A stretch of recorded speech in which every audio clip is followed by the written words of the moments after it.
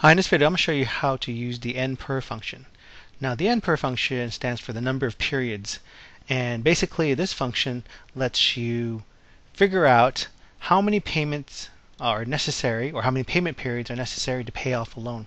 So this may be very common in situations where we are buying a car and let's say that you are given an interest rate of 3% and you're trying to figure out well the, the most I can pay is maybe $200 a month and the loan that I'm going to get from the car dealership or the loan finance part of the car dealership is $8,000.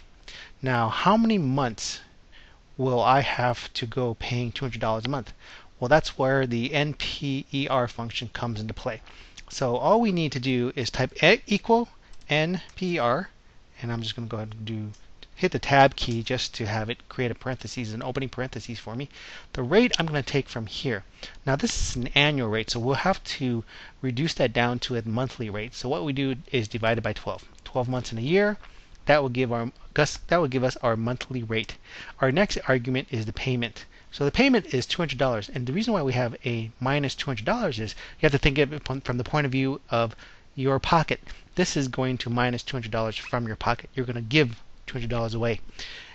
The next argument is present value. So this is the loan amount. This is the value uh, that they're going to give us. So in, in essence, really, the financing arm of the dealership is going to give us $8,000 to buy this car. So that stays positive, and that's not going to have a negative there.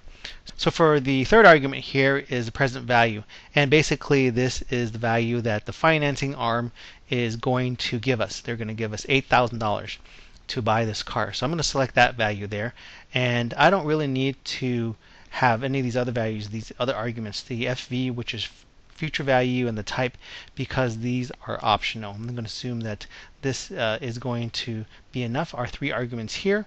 So I'm going to do a close parentheses, press return, and what we see now is there's going to be 42.2 monthly payments. In essence, really, maybe 43 monthly payments when we pay off this car.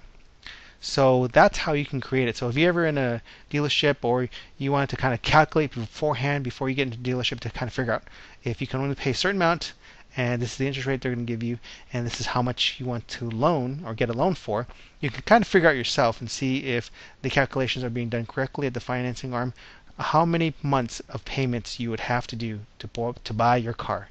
Maybe something like this or something uh, more appropriate for your particular situation. So I hope this helps. Thanks for watching.